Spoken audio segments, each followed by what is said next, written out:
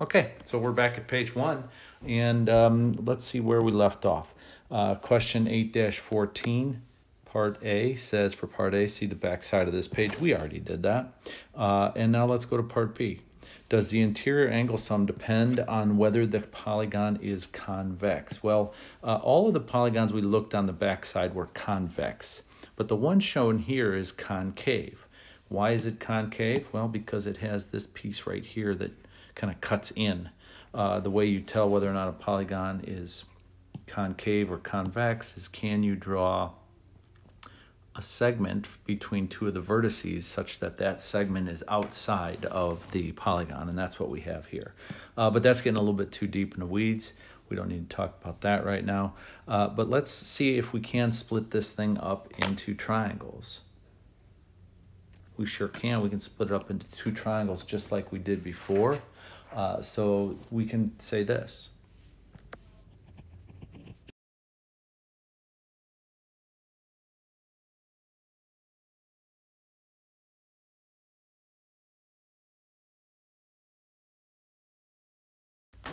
All right, folks, there you have it. Uh, the four-side concave polygon can still be split into two triangles, so its angle sum is still 2 times 180 or 360 degrees. I want to make a special comment right here.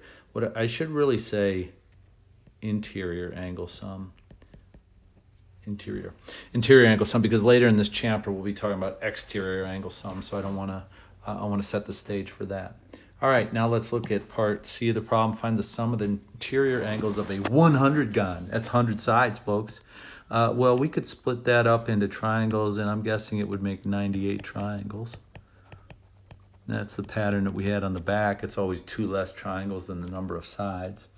Uh, so if I want to know the sum of the interior angles, I'll just do 98 triangles times 180 degrees in each of those, and that gives me an angle sum of 17,640 degrees. That's a lot of degrees. Okay, let's move on down now to part D.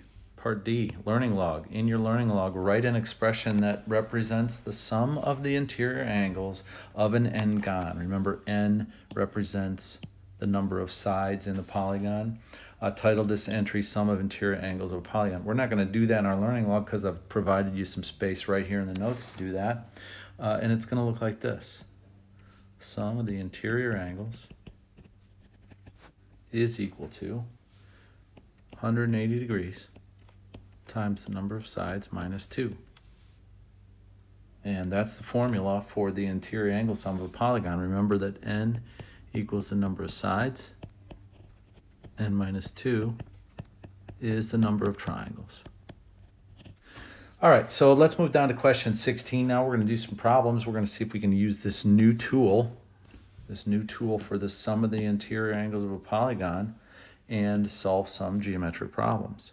8-16, use the angle relationships in each of the diagrams below to solve for the given variables. Show all of your work.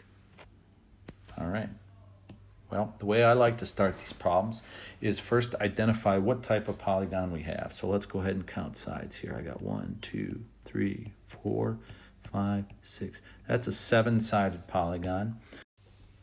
So the sum of the interior angles is going to be 180 times 7 minus 2.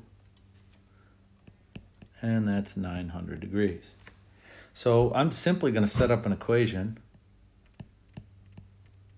where I show all of these angles, all of those angle measurements adding up to 900. Let's start with 133 and work our way around there counterclockwise. Just fit that in there. And if we go ahead and combine like terms here on the right hand side, we're going to have, let's see, there's 1m, 2m's, three, we got 3 m's and then all of those uh, numbers, I can add those up. That gets me 501. I do 133 plus 120 plus 13 plus 138 plus 106 minus 9. Uh, now I'm going to subtract 501 from both sides. That gives me 399 degrees has to equal 3 times m. Divide both sides by 3. I get m equals 133. All right, let's take a look at part B. Part B, well, I have how many sides? One, two, three, four, five, six. And I know the sum of the interior angles has to be 180 times 6 minus 2. That's 720 degrees. And this is our friend, the hexagon, so we should, that, that's one that after we use this a couple times, we're just going to remember hexagon, 720 degrees. So I got 720 degrees equals x plus x plus. I got to do this six times because there's six of those that are all the same. One, two, three, four, five, six. So 720 degrees equals six times x. Let's divide both sides by six and we get x equals 120 degrees. Um, let, it's worth noting here that this isn't just any plain old hexagon. This is a regular hexagon. Why is it called regular? Because all the sides are the same length and all the angles are the same measure. Okay, so let's move down to the next problem here, part part C. Uh, things are getting a little trickier. Uh, this one, uh, let's see how many sides we have. There's actually two different polygons, three actually. Uh, I'm gonna I'm gonna trace out two of them that we're gonna analyze separately. So first, I'm gonna kind of take a look at that triangle, uh, and I'll do that up here first, uh, and then I'll take a look at this polygon here, which looks like that's five sides. Let me, let me make sure that's five sides. One, two, three, four, five. Yeah, that's five-sider. Uh, so I'm going to take a look at the work for that five-sided polygon down here. Let's jump back up and look at the triangle, though. Uh, the triangle is an isosceles triangle, and um, I'm going to mark each angle here. Those base angles are congruent. Uh, and I'm going to need one of those angle measurements here in a little bit. That's why I'm doing this. So I have x plus x plus 64 has to equal 180 degrees. We go ahead and uh, do some algebra here. I get 2x equals 116. That's what I get if I do 180 minus 64. Divide out both sides by x, and we get x equals 58 degrees. That's going to come in handy in, a, in just a moment. So now let's take a look at that five-sided polygon, that uh, strange-looking pentagon there. I'm going to go ahead and set up an equation to add up, uh, to first look at the total of the interior angles. I got that 180 times n minus 2. And then I'm going to just go around and add up all the angles in that pentagon. I'm going to start with 88. That's that guy right there. Then I got 64 up at the top.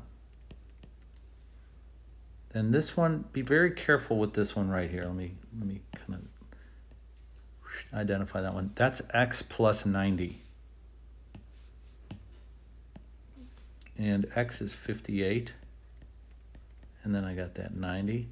And we got to move this, folks. This is going to be in the way. All right, now that I got that repositioned, we got, uh, uh, let's jump back in here and make sure we're including all the angles in that green pentagon. I got 88, uh, the 64 up at the top there. I've got X, which is 58 plus 90. I've captured that, so I've got this guy. Uh, I've got a 96 degree angle, and then I've got K, which is actually what we're looking for. So let's go ahead and solve this equation. On the left-hand side, I got 180 times 3. That's 540 degrees. On the right-hand side, I'm going to add up all the, the numeric values. Uh, 88 plus 64 plus 58 plus 90 plus 96. That gives me 396. And then I got that lonely K out there. Uh, I'm going to subtract 396 from both sides.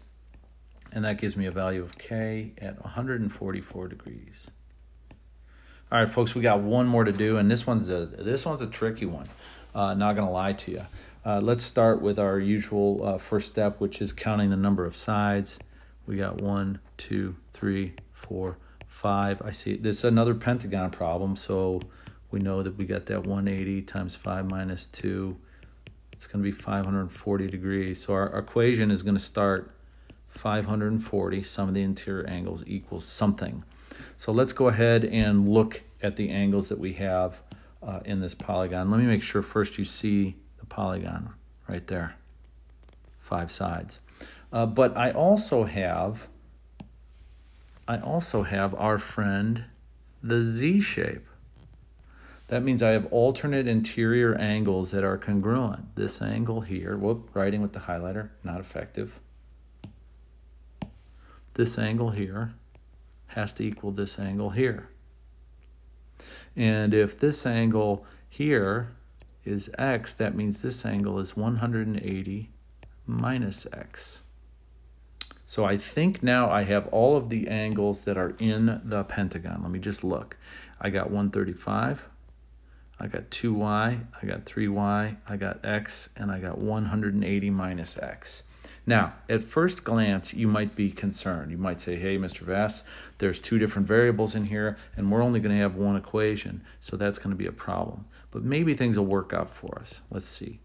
135 plus 2y plus 3y plus x plus 180 minus x. Oh, a little bit of magic happens. Look at this x and 1 minus x cancel out, and we're left with the following. 135 plus 180 gives me 315. 2y and 3y is 5y. On the left-hand side, it's still 540. So let's go ahead and subtract 315 from both sides. That gives me 225 degrees equals 5y. Final answer, y equals 45 degrees. Folks, that's it. Please take a look at the review preview and get back to me if you have any questions.